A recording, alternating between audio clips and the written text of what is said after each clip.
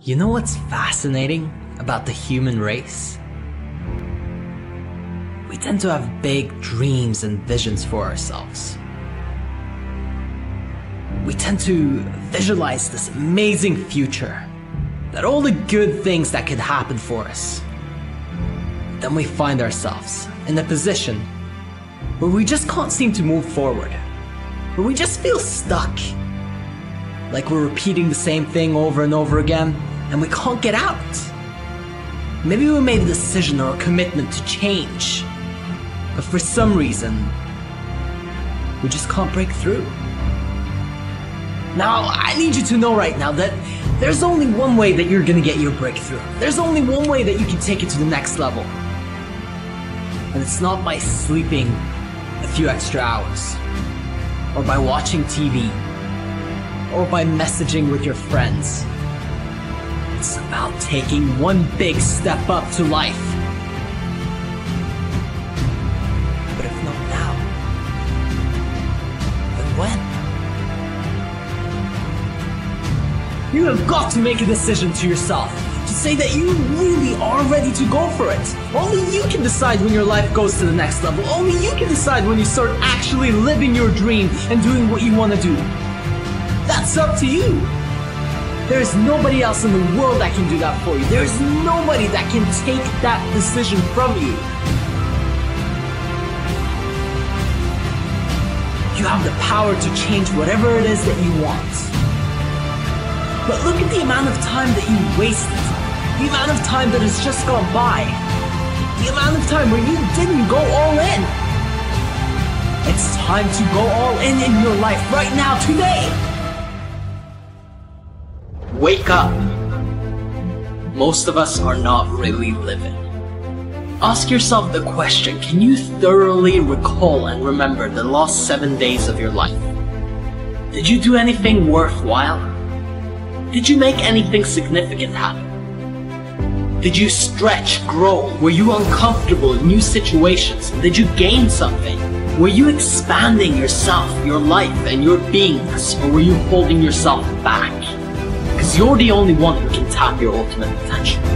You're the only person that can make your exact visions come to life. Your life is yours. No matter how much you've been conditioned to think or believe that you need to do this, that, and the other, that this is the right path, that this is what people are supposed to do, you're supposed to walk your path. The only thing that you're supposed to do is walk your own path. Your road to success, what your gut, what your heart is telling you, because it was given to you and nobody else. But if you did nothing towards that in the last seven days, what's to say that you will in the next? And if you didn't change anything in the past year, what's it gonna take for you to wake up and do it this way? You'll stop holding yourself back and always limiting your opportunities. Heard some people saying, isn't that extreme? Isn't it extreme to be obsessed to go all in, to do everything you're supposed to do? You should have a plan B. Life is extreme. Sometimes you lose, sometimes tragedy hits you. Life is going to continue to be extreme, so get extreme with it. Don't wait for an extreme moment to wake you up. Because that's what happens if you don't wake up, if you don't start doing what you're supposed to do. Eventually, life will hit you with something extreme just so that you'll wake up. Listen, you're not going to get out of your life alive, so play all in.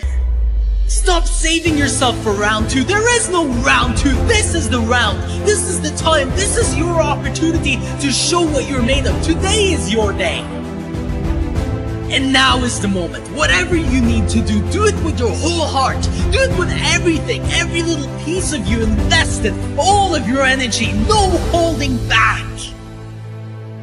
What would your life look like if you went all in in everything that you did? From the moment you woke up until you passed out on the bed at night? You were so intense that nobody could keep up, you have that in you. You have that power within you. You just have to let it out. Yes, some people will call you extreme. When you bring out the best in you, when you give everything that you have in every situation, when you stop doping and walking around like a brain dead zombie, of course you're gonna turn some heads. If you're not drawing attention to you, that is the problem. You need attention. You need people to notice you. Want the world to know that you were here. Don't live in the shadows, not even leaving a fingerprint, not even leaving a mark. The only way to actually make a dent, the only way to actually impact people is to be extreme, is to go all in, is to do everything that you can possibly do.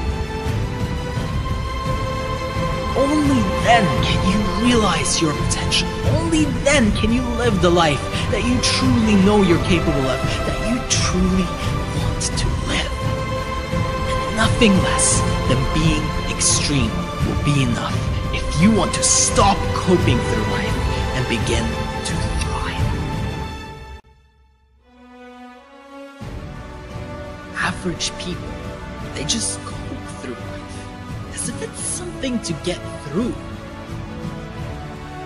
This is depressing, as if death is a goal. Your clock is ticking. You don't have time to get through it. My depression propelled me to greatness. Listen to this passion. This doesn't come through sitting there and being happy and okay with everything. Yes, you have to accept that things are the way that they are, but I need you to use your pain, not be used by it. How do you not understand? This was given to you, given to you for a reason, so you can grow, so you can expand. How does a muscle get built in the gym? With resistance, you need some resistance to bring out the best in you. You need some pain, some struggle, some hardship. Life was not given to you so that you could cope through it. It was given to you to thrive. We need your obsession, your all in. Not this I'll try my best bullshit. As if it's out of your hands. It is not out of your hands. Stop lying to yourself and justifying why you can stay where you are, why it's okay for you to be where you don't want to be. And stop telling yourself that you're doing the best that you can when you know that you haven't even begun to tap half of your potential. Before you've even seen what you're capable of, you're already starting to think about quitting and giving up on yourself. What is this to you? You're going to die. How can you not understand this? It doesn't last forever. For all we know, it can happen tomorrow. I challenge you to live with this in mind and see how you will do things differently. You won't cope